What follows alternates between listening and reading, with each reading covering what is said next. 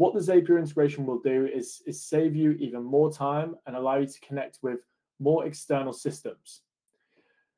So th this, this image here of where you can see when do X, do Y, then do Z. Uh, this is this is a really good example, and I think it, it shows exactly what Zapier does. It basically bridges the gap between Everfit and other systems to allow more automation. So an example would be when ever, when you add a client on Everfit, you can then add them to a mailing system and then move them to your CRM. So stuff like that it is all connected using this tool, which is, is the Zapier integration. So putting that into a real life perspective and how that could potentially look. So this is how a Zap looks. We have two different Zaps set up here. So the first one is having Everfit as the trigger. If you haven't seen that already and you are using our Zapier integration, we have just added today uh, the trigger to when a client is connected in Everfit, then you can produce actions through those external systems and also through Everfit system too.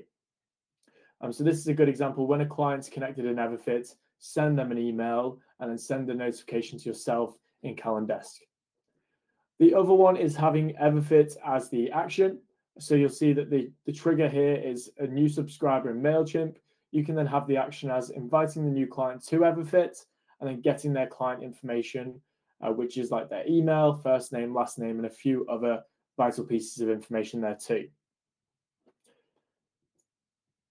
There are countless possibilities to saving time uh, with, with the Zapier integration. So you can connect with your CRM to help with customer management. So that is one option. You can also connect with those email systems like a MailChimp, where it starts triggering the automation of emails firing out to those new clients. External forms is a really useful one if you're looking to run a freemium model uh, where they fill out a form and get added to a specific program, then that could be a really common use case. Uh, but also, if you want to use those forms in onboarding, uh, this will be an option too.